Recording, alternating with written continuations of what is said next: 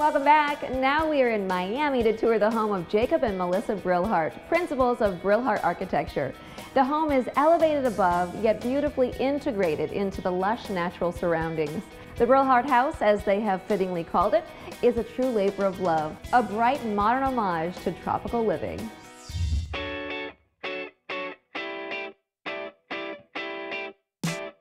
Hello, my name is Jacob Brillhart. I'm an architect and a professor at the University of Miami School of Architecture. And I'm Melissa Brillhart, and we're both principals of Brillhart Architecture. And welcome to downtown Miami. When we start a project, we really study the landscape and the context, and we really try to integrate the building with the surrounding tropical environment. We found this incredible lot. And it's almost a half acre and as long as a football field with an incredible tree canopy, and we knew this was it. The house is raised five feet off the ground, and the structure is steel and glass. And the interior is 1,500 square feet.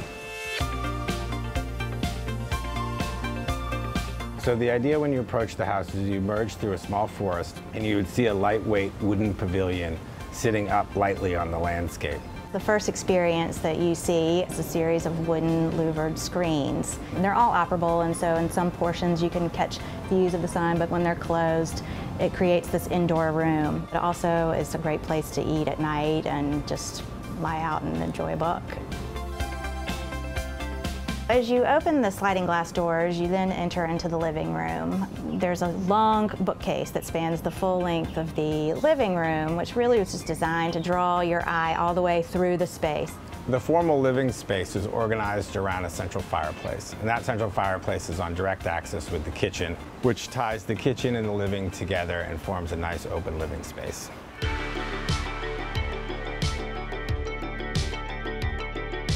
So all the millwork that you see in the house, including the kitchen, the doors, the bathrooms, all of that is made out of cherry wood, which was reclaimed from a barn in New Hampshire.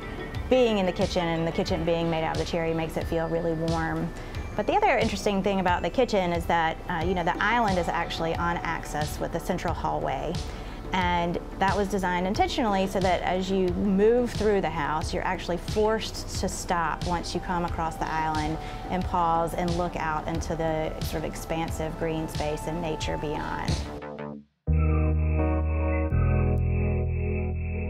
So the house has two bedrooms. The master bedroom is located behind the kitchen and the second bedroom is up at the front of the house.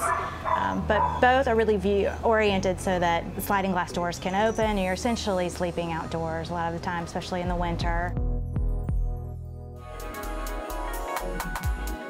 We believe this is a great example of tropical modern architecture with the main idea being that we're living in the landscape. We do this by creating a steel and glass house with the incorporation of porches and the orientation of the building and also the use of materials such as wood to create a warm atmosphere and experience. We hope you enjoyed the tour and thank you for stopping by.